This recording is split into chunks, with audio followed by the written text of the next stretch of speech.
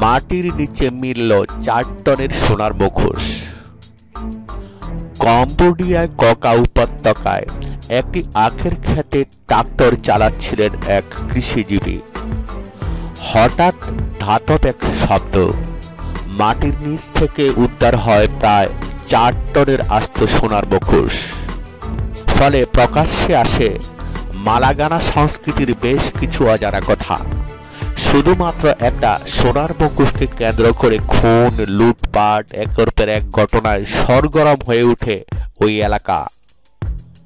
কম্বোডিয়ার ককা উপত্যকায় পাওয়া এই সোনার মুখোশ প্রথম লুকিয়ে রেখেছিলেন ওই কৃষিজীবী। কিন্তু এই খবর চাপা থাকেনি। প্রায় পাঁচশো মিটার বিস্তৃত ছিল এই চাষের জমি। যা পরে প্রত্নতাত্ত্বিক স্থানের খ্যাতি পায়। এই মুখোশের জন্য খুনাখুনিও হয়। উনিশশো বিরানব্বই সালে ওই একই এলাকা থেকে মালাগানা সংস্কৃতির বেশ কিছু প্রত্নতাত্ত্বিক সামগ্রী উদ্ধার করা হয়। এর মধ্যে অন্যতম একটা সোনার চিমটে, যা ভ্রু ঠিক করতে, ব্যবহার করতেন প্রাচীনকালের অভিজাত ব্যক্তিরা।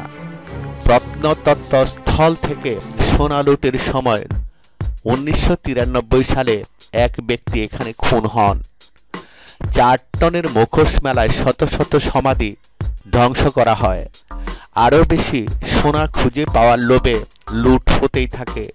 ধীরে ধীরে প্রত্নতত্ত্ববিদদের কাছে এই সংস্কৃতির নানা অজানা তথ্য সামনে আসে। স্থানীয় লুটেরাদের হাত থেকে ওই স্থানটি রক্ষা করতে সচেষ্ট হন তারা।